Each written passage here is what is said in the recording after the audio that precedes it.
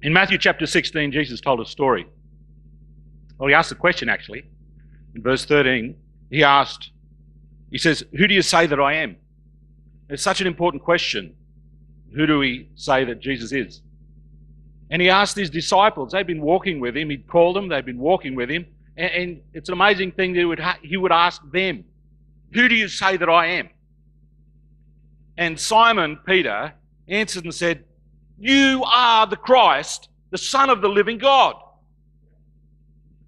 And it was amazing. Jesus had this wonderful response to that. It was the thing that he was looking for. He said, That's fantastic. You have received this revelation from God. This is a revelation you've got. I can just imagine Peter think, Wow, I had a revelation from God.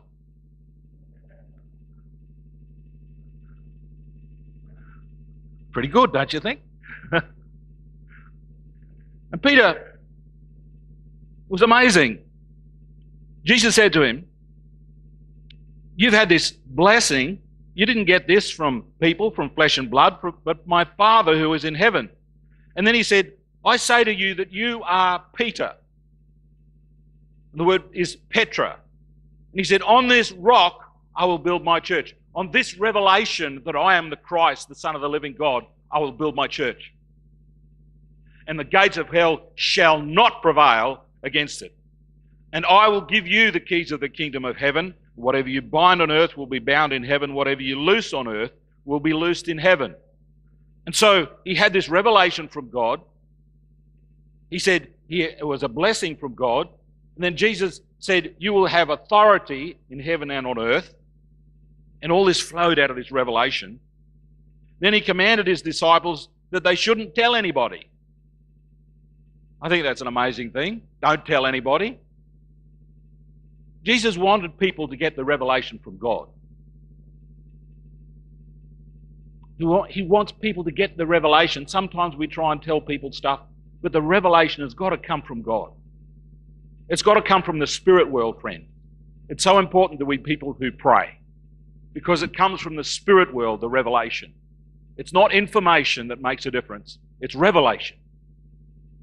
And so, from that time, Jesus began to show his disciples that he must go to Jerusalem and suffer many things from the elders and chief priests and scribes and be killed and be raised the third day. And Peter took him aside and rebuked him. He said, No, Lord, don't, this shouldn't happen. Don't let this happen to you. And Jesus turned and said to Peter, Get behind me, Satan. You are an offense to me, for you are not mindful of the things of God, but the things of men. And it amazes me. The one minute Peter is having this revelation from God, and the next minute Jesus called him Satan. But Jesus said in John chapter 6, verse 63, My words are spirit and they are life. And I don't think it's any different here. Jesus was speaking to the spirit world. To the Peter had heard from God, and then he'd heard from the devil. Just like that. The spirit world is so real, friends. And we can hear from both. Just like Peter. And Jesus spoke to the spirit that was influencing Peter and said, Get out of the way. We've got to know which spirit world we're dealing with. We've got to have some discernment. And Jesus went on to say, If anyone desires to come after me, let him des- deny himself and take up his cross and follow me. Take up his cross and follow me. Take up his cross and follow me. And he began to speak about the motives, about the heart, about the thing that's on the inside. Why is it that we hear from the devil? It's because it's the stuff that's on the inside that allows us to draw from that. He said, You've got to deny yourself. For whoever desires to save his life will lose it, but whoever loses his life for my sake will find it. What profit is it a man if he gains the whole world and loses his own soul? Or what will a man give in exchange for his soul? And we have this incredible picture here. You can gain the world but lose your soul. We can get everything but lose our way. And it's so important that we walk in the principles of God. Jesus said, Take up your cross. We've got to deny ourselves. And I want to break this open a little bit what it is to take up our cross, what it is to walk with this principle of God. They that are Christ have crucified the flesh with its passions and lusts. I've caught them somewhere.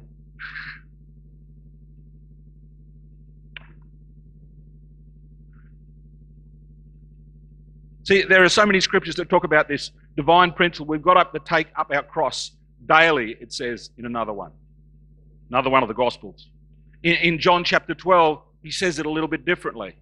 He says, Except a corn of wheat fall into the ground and die, it abides alone, but if it dies, it brings forth much fruit. You know, there are many reasons for people to be lonely. One of them is that they're selfish.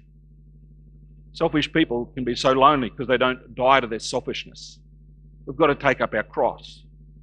I don't know if you've met selfish people. You meet selfish business people and they're all about making money for themselves. You meet selfish, proud people and, and they get offended with everybody else and they isolate themselves.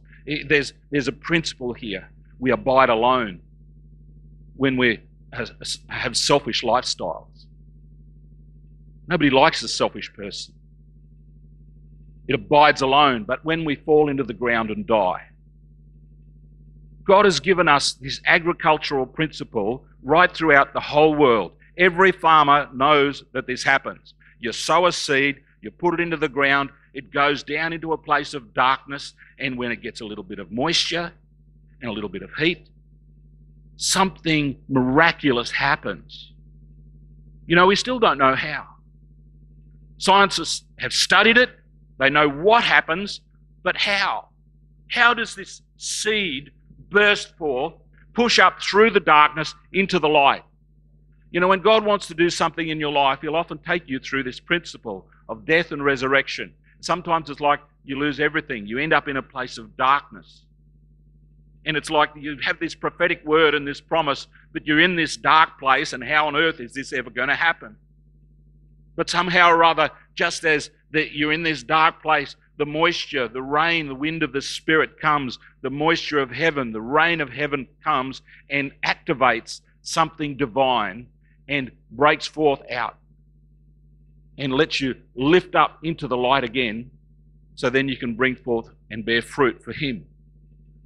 But there's a death process that's got to happen. You've got to deny yourself and take up your cross daily.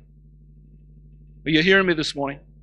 There is a divine principle. When Jesus went down to hell and he had been separated from God by sin and he was carrying that weight and took it to hell and he took captivity captive down there, he knew that he had to be raised again, but he was trusting God that the Spirit of God was going to come and do that. He had to trust God. The same Spirit that raised Christ from the dead dwells in us. So it's the Spirit of God that raised him from the dead. He had to trust that the Spirit of God was going to come. And when you and I go through a death experience and we die to stuff, we've got to trust that God is going to come along and resurrect us somehow. Are you hearing me? It's death and resurrection. It's not just death. When we take up our cross, we've got to take and die to our selfishness, but somehow God is going to come and bring new life. It's no longer I who lives, but Christ who lives in me. There's a resurrection power that comes from God. Sometimes we can go through hell.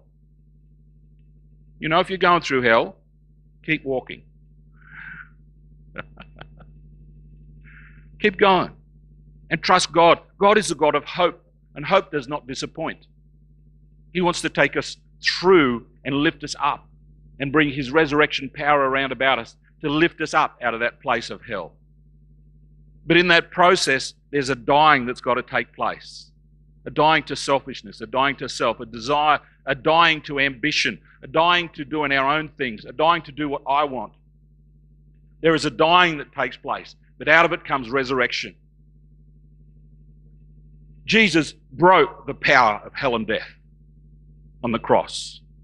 And when he went to hell and the power of Satan was defeated. Revelations tells us that we overcome by three things by the blood of the Lamb, by the word of our testimony, and we lay down our lives to the death. Take up your cross daily. Brings victory over the devil. We walk in victory when we walk with God. We walk in almighty power when the power of God comes, friends. Sometimes the, the, we just need God to get around about our world and make a way. We need the, the power and the victory of God. I want to tell you a story about friends of ours. Deb and I have been praying for this lady. And uh, she's about our age. She's got a daughter, just had a baby. And you would think this is wonderful, something to celebrate. The daughter rang her up three days after she'd had a baby and said, Mum, I've had the baby three days ago. The mum said, What? And instead of this wonderful excitement about uh, having this baby, there's this conflict. And you think that's a dreadful thing for a daughter to do, but you don't know what the mother has done to this daughter. This mum has tried to commit suicide so many times. This incredible selfishness around her world. Doesn't have any social skills, so she blurts out all these things that just are offensive. You know, unless we die to our selfishness, we abide alone.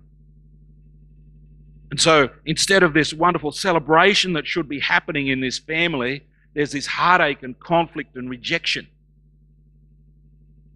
And I'm thinking, God, what is it going to take? I'm so desiring a move of God in our nation. What is it going to take? God, you said you've given us the ministry of reconciliation. What is it going to take for reconciliation to happen in this family? What is it, how are you going to do it? And then the Lord spoke to me and spoke to me about when Jesus went to the cross, he endured the cross for the joy that was set before him. So when Jesus went to the cross, before the cross, he got whipped, he got beaten, and he went without objecting to it. He did not open his mouth. He went like a lamb to the slaughter, the Bible says. He accepted the wounds. And for us to die to ourselves, sometimes we've got to accept the wounds that come. The wounds that want to kill us, the wounds against us, the things that are spoken against us, the rejections. Sometimes you just got to accept them, and they are what they are. For us to go beyond that to reconciliation, rather than being reactive and putting the walls up again, putting the offences up again, being reactive to it. What? You've already had the baby? What? and creating another wall. And the daughter says to her mum, I can't afford to have toxic relationships in my family right now when I've just had this baby. And there's just this heartache happening. Friends, you don't have to go far to see it, it's everywhere. Down at the hub this week and talking to a lady that come in. She says, I've got my son out in the car and he's been on drugs and, you know, he's got a job here and there occasionally, but he doesn't want to come in. He says, Mum, you're dragging me along to another church thing and just a heartache. I think, God, you've given us the ministry of reconciliation. Somehow or other, God, you've got to bring your answer, your mighty power to help these people to, to come and the resurrection divine power of God to come and do a number on them, to help them over their, their selfish reactions that make them abide alone, and to bring community again and build your kingdom in people's hearts and people's lives and people's worlds. Are you hearing me this morning? We, we need God. We need God so much. Sometimes it's only the divine power of God that can break through this. How do I take up my cross? Christ in me is the hope of glory. I need God to help me do that. I need God to help me do that. How do I do it? How do I embrace the wounds that come? I need Jesus to help me. I need His divine nature in me to do that. I've had some personal experiences in my own family. And my daughter read me the Riot Act a few months ago and told me everything she could think of. It just shocked me, really. Think, God, what do I do? But I just embraced the wounds. I accept what you're saying. Didn't react, but I just asked her humbly, please forgive me. I'm still believing for an outworking of that. I'm still believing for a resurrection. I'm believing for God to come and do a number and help us because I'm looking beyond the cross for the joy of the reconciliation, the joy of the family, the joy of the enjoying one another again. Are you hearing me? See, beyond the cross, beyond death is a resurrection. There is power beyond it. Jesus endured the cross, despising the shame. Sometimes shame gets around about us. We, we get shamed because of our sin, because of stuff in the past, because of things that, that happened. Somehow or other, this shame comes. But Jesus wants to come and break the shame. He despised the shame of dying naked on the cross to help us through it, to bring liberty and life and victory. To take up our cross, friends, means to head towards resurrection, to allow God to work by his mighty power and raise us up again and bring life and bring hope and bring victory. That's where we're headed, friends. Are you, are you hearing the spirit of this? I'll tell you one more story about my own situation.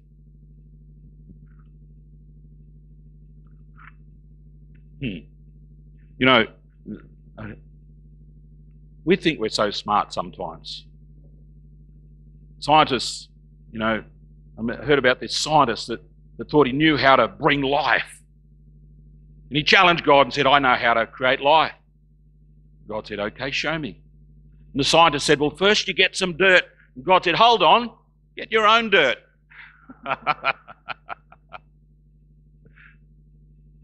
God makes way for us.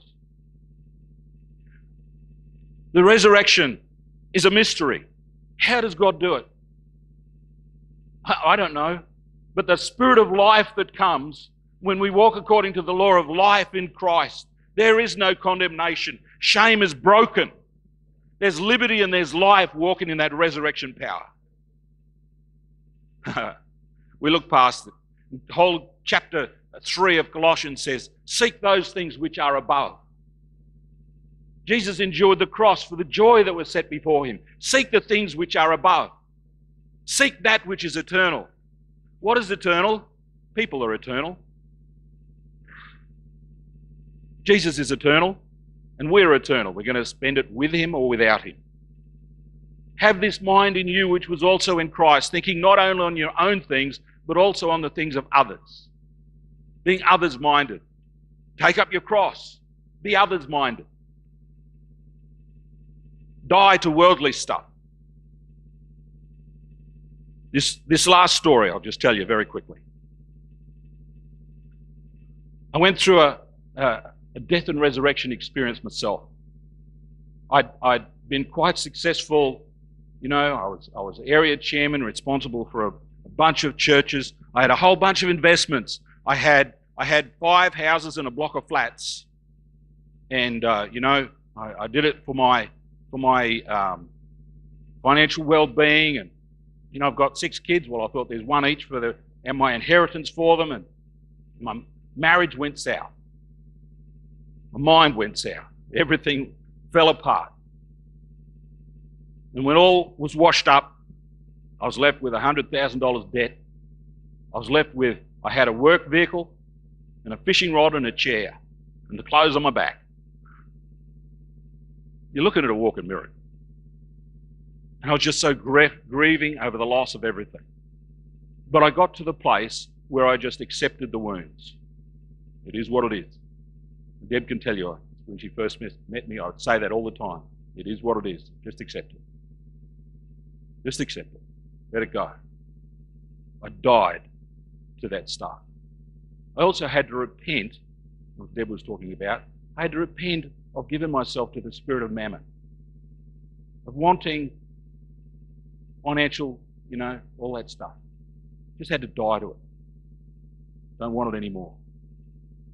And then when I'd walked through that and I died to all the selfishness that was involved with all that and all the loss, God came and He spoke to me and gave me a revelation of the river of God. And I'd had all this stuff and had gone downriver. But, friends, there's more coming from upstream. I live in a river. And I would introduce myself and say, Hello, my name is Tom, and I live in a river. And people would look at me and say, What are you talking about? But I was living in it and I was walking in it. Stuff was gone, but God was still coming. It's all gone downstream. Goodbye. There's more coming. God is uh, around me and in me. My name is Tom, and I live in a river. And from that, the things began to flow back to me. I found a place to live when I was on my own, living on a minimal income. Had a place to live, no furniture, no nothing. People began to give me things. I got given a nice leather lounge. Thank you very much. Got given a bed and a TV and a table and chairs and a fridge, and I got given a house full of furniture. Had somewhere to live and a house full of stuff, and I didn't even ask anybody. Didn't tell everybody, hey, this is what I need. It just came. And this river of provision began to flow around about my life again. And God was so incredibly gracious and good. And, and, I began to walk in joy and just, oh God, I need this. Next day it would turn up. I had a work vehicle that had two seats, and I've got two daughters. I couldn't even pick them up to, to spend time with them. Somebody gave me a car. And, and the blessing of God began to flow. Friends, after death is a resurrection. God comes by his resurrection power. When we die to stuff, when we die to the desires, God can make way for his abundant provision. And it's not about things, it's about our inner life and our walk with God. What does it profit you if you gain the whole world but lose your soul? We've got to walk with God and allow the provision of God and the resurrection grace and life of His Spirit flow to us. What does it profit us? We can lose everything, Brony. But God will come by His resurrection power and raise us up and bring us life. And I believe that's a word for you. It's a word for all of us, but it's a word for you. That you're experiencing some grief and some loss. But God says He comes by His resurrection power and He's going to lift you up into a place of joy and liberty again. He loves us so much that He does that stuff. And somehow I didn't have a clue how God was going to restore me. It was a mystery, no clue. But that's okay. We just got to trust Him. We just got to walk with Him and allow Him to do it. Let's pray. Father, I thank you for your word today. I thank you for your truth, Lord. It is not by our ability, but it's by your Spirit. Somehow you do it, Lord. You bring life, you bring liberty, you bring grace. We thank you and honor you for your resurrection life in Jesus' name. Amen and amen. While I was speaking there, you know, there are some people and you're identifying with this. You're identifying with with a place of grief, a place of darkness. You feel like you've been buried. There are some people you feel like, you know, still trying to find the, the way up. There are some people that really identified with their shame and, and that that thing that keeps you isolated and alone. I'd love it if you'd allow me to pray with you and believe God for you. There's an anointing that God wants to bring to help you on this journey. He's a God of hope, friends. He's a God of liberty and life. Would you allow me to pray with you? Would you come? Would you let me to come and, and uh, just release the anointing over you to help you on the journey, to bring liberty and life to you? Because He wants to. If you can hear the heart of God, He wants to help you, He wants to walk with you. Could have our musicians, please. If you want to respond to that, please come. Thank you, Jesus. Thank you, Spirit of God. There is resurrection and there is life and there is power. Father, I thank you, Jesus. There's something of the grace of God that wants to come. I'm believing for it. I'm expecting it because He's given me this message. And uh, He wants to touch our hearts this morning. There's somebody here and you're locked up in grief. Like this thing has just shut you down. God wants to break that off you this morning. This is God of resurrection. He wants to help us. Spirit of God. Thank you, Jesus. Thank you, Jesus. Thank you, Jesus. Thank you, Jesus. Thank you, Spirit. Thank you, Spirit. Thank you, Jesus. Thank you, Jesus. Oh, your Spirit. Oh, your Spirit. With your grace flow. Turn your heart, hearts towards God with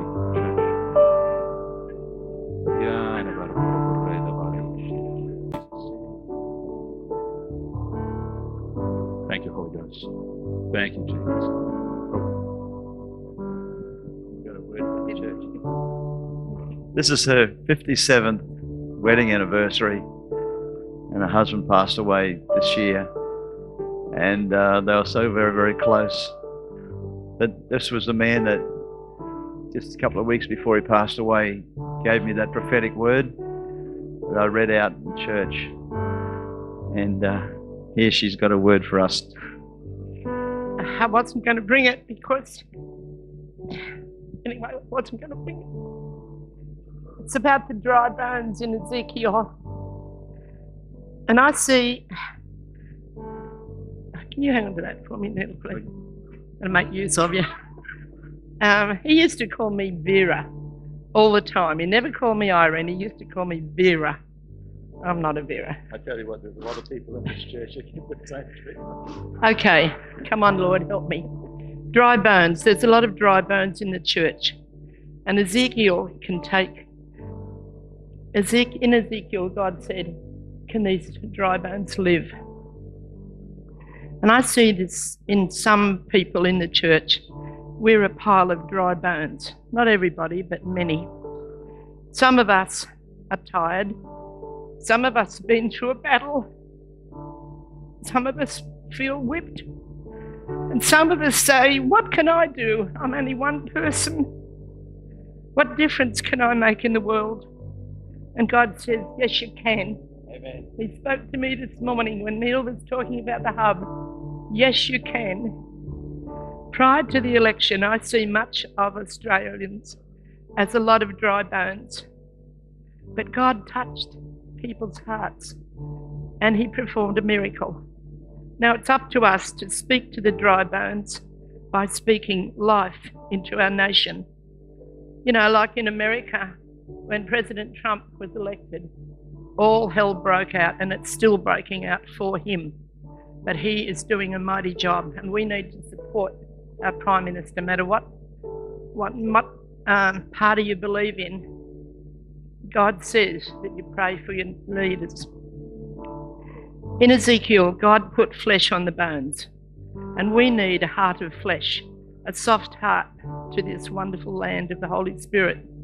God put blood into the flesh and covered the whole, covered the body with skin to hold it together. We need to pray and believe that the blood of Jesus never loses its power in this nation, and it's under attack today. And we are to cover this nation with the precious Holy Spirit.